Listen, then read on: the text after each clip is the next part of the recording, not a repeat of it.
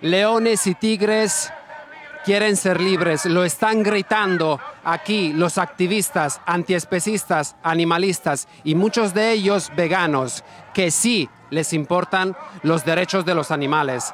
Todos podemos respetar a los animales. Los circos nos encantan, sí, pero sin animales. Para los animales, respeto y libertad. Lo están gritando. Grídalo, tú también.